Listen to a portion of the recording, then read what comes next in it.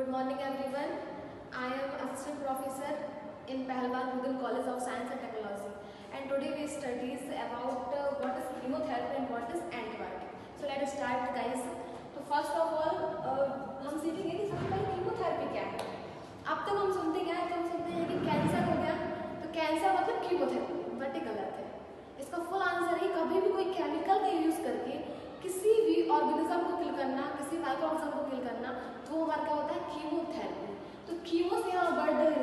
रखिएगा केमिकल और थेरेपी का मतलब वो ट्रीटमेंट करना ठीक है? तो किसी भी केमिकल के थ्रू किसी भी डिसीज को क्यूर करना प्रिवेंट करना, उसका ट्रीटमेंट करने को हम क्या कहते हैं? कीमोथेरेपी ओके अब कीमोथेरेपी में बहुत सारी चीज़ें पढ़ेंगे आप कि एंटीबायोटिक क्या है एंटी माइक्रोऑर्गेनिज्म क्या है? तो यहाँ पर पहले हम समझ लेते हैं कि एंटी माइक्रोऑर्गेनिज्म क्या है या फिर एंटी माइक्रोबियल क्या है? देखो एंटी समझ में आ रहा है कि अपोजिट काम करना और माइक्रोबियल से किसी माइक्रो ऑर्गेनिज्म को किल करना। तो किसी भी माइक्रो ऑर्गेनिज्म को किल करना या उसकी ग्रोथ को प्रिवेंट करना।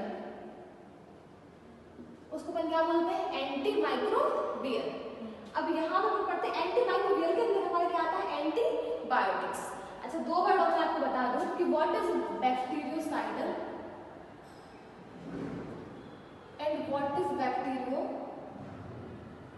bacteriostatic तो देखिए यहाँ पर बैक्टीरियोसाइडल का मतलब क्या है?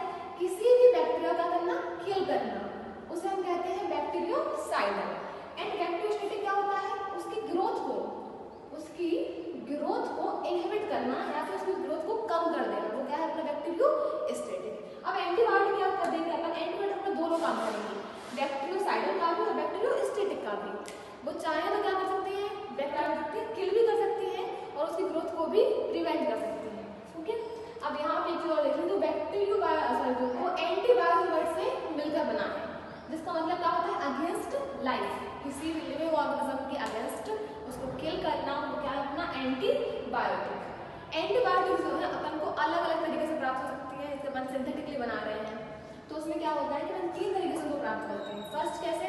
It is obtained from fungi bacteria और एक्टिनोमाइसिन एक्टिनोमाइसिन को अपन सोल बैक्टीरिया भी कहते हैं। Soil bacteria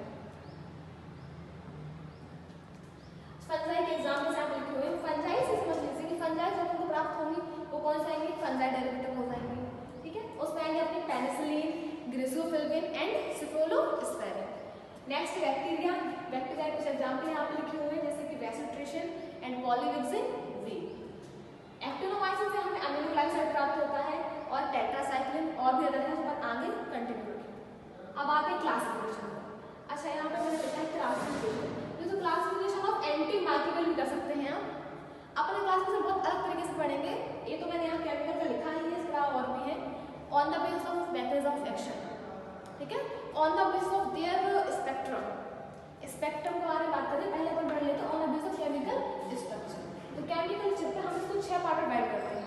First beta lactam antibiotic second aminoglycoside beta lactam antibiotic हमारी पेनिसिलिन पेनिसिलिन क्या है अपनी? बीटा लैक्टम एंटीबायोटिक होती है अमीनोग्लाइकोसाइड अमीनोग्लाइकोसाइड आती है अपनी अमीकासाइड जो आपने बहुत कॉमनली देखी होगी। टेट्रासाइक्लिन हो गया